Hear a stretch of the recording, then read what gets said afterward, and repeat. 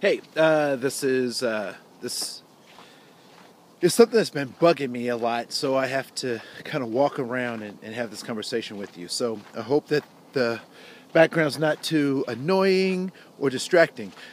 So I have to have this conversation about affirmative action because there's a, a, a number of misnomers, confusion about the, the, the affirmative action process. And, and so, first and for, foremost, in terms of affirmative action, organizations cannot have quotas. So there, so there is no uh, quota system for affirmative action.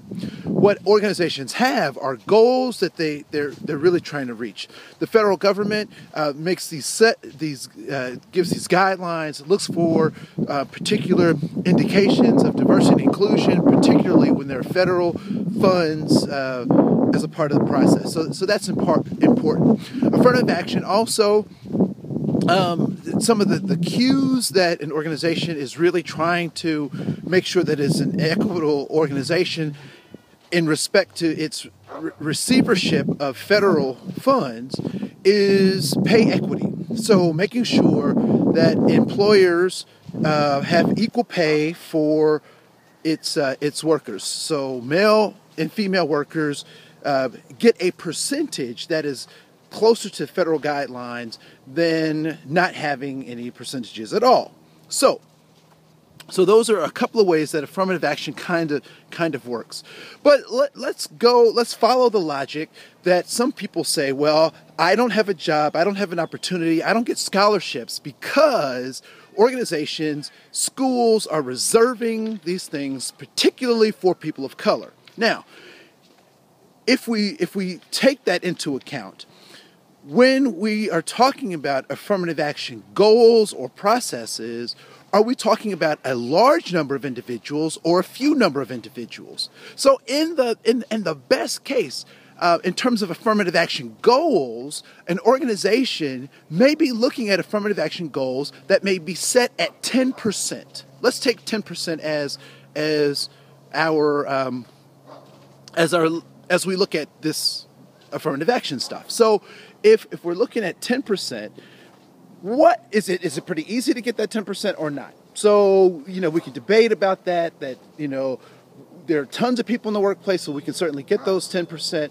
or it's difficult to get those 10% for whatever reason, but that but that's 10%, which now lends itself to looking at 90% of the folks that are in my organization being hired. So, when folks say that I can't get a job, can't get a scholarship, I, I, get confused because who are they competing against? Are they competing against the 10% or are they competing against the 90%? And so if you're competing against the 90% and you're not getting in, is it possible that you're not as good as you think that you are? And so uh, part of part of the, the dilemma uh, particularly when we start talking about institutional oppression, institutional um, ways of, of, of interacting. The, part of the problem is that the the the the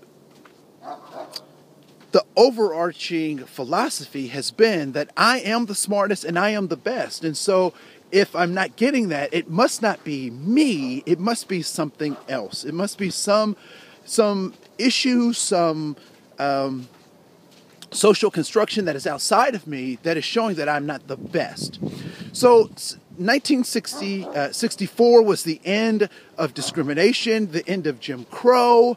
Um, free slaves were freed in 1863. A hundred year later, hundred years later, the federal government puts in place these statutes that say that it is illegal to uh, create these um, environments where people don't have an even playing field.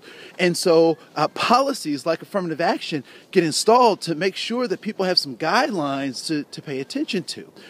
But what is what has happened is that it has also created an atmosphere where white people feel threatened, particularly white men, feel as though they are now the, the, the, the new black people, if you will, that they are being persecuted when other folks are talking about freedom. And what I'd like to say is that's exactly what the system is trying to do. It is trying to keep people divided so that we don't see what the real problem is. And the real problem is that there are groups of individuals who have lots of power, who have lots of influence, that want everyday regular white people to look at people of color as the obstacle or the stumbling block to their success and not look at the people who are in power as the true and authentic um, conveners of these conversations about what is problematic in, in the workforce and in our school settings. And so it is not people of color who are the enemy. It is not uh, poor